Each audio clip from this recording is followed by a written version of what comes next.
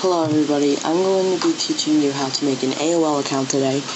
Um, so what you want to do is um, you're going to open up AOL.com in your web browser, whichever web browser you use. And, um, wait one second here. I'm signing out to show you how to make it. Alright, so what you're going to do is you're going to open it up and it's going to bring like all the news and stuff and it's going to bring like the search the web and things and then up here on the top bar it's going to say get a free account. If that is not for you, go into sign in and on the right side of the page there is a get a free account um, uh, on the bottom. Alright, so what you guys are going to want to do is you're going to want to put in all your information for all of this. I'm gonna make a Xbox 361 um, monthly account free because it's my third one. Um, and I'm gonna make my password. You guys want to make it strong.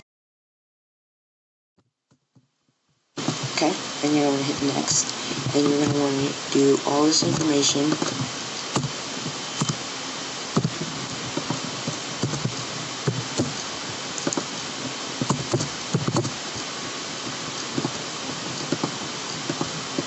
and you want to do your regular email address if you use it or if you don't? Then that's then you don't have to do it. It says optional right next to it. And um, this is my account that I use the most. Just make and you want to make sure that everything's okay. And that's fine. And there. Now you can hit next.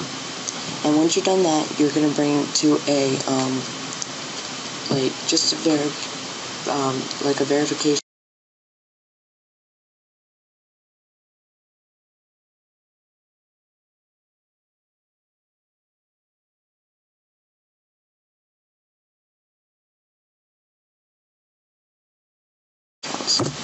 Alright, now once you're done doing that, it's going to say, congratulations, here's your account information.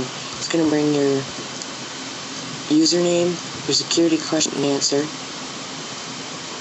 and then um, I'm never going to really use this account, so it's okay. And then you're going to hit OK. And you are finished making your uh,